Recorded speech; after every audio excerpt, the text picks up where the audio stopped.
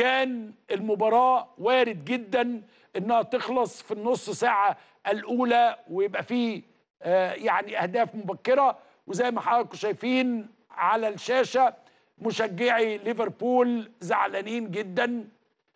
الناس كانت ورا ساديو ماني ورا صلاح ورا فان دايك وعلى الناحية الأخرى مشجعي النادي الملكي ريال مدريد.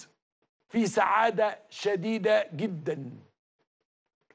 ينتهي هذا السيرك الكروي الذي سيطر على عقلية العالم وننتظر سيركا جديدا يسيطر على مصر وأفريقيا يوم الاثنين القادم نهائي أفريقي الأهلي والوداد في المغرب. كل تمنياتنا للأهلي إن شاء الله أن يحقق النجاح.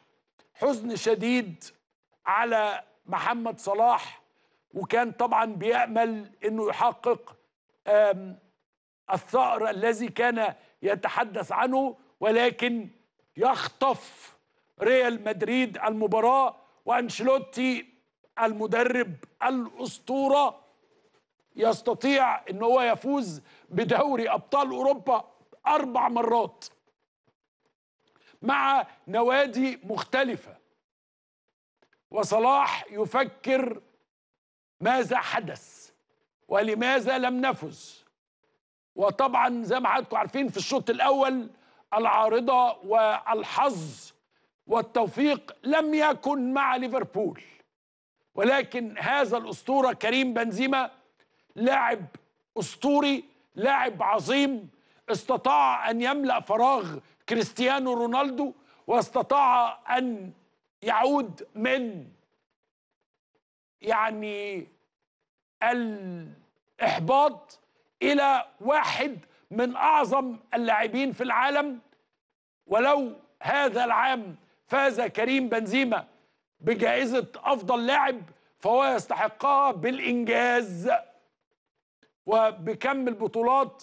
التي استطاع أن يحرزها مع فريقه لاعب محترم وكلوب طبعا بنقول له هارد لك آه هذا الفريق الذي وصل إلى النهائي.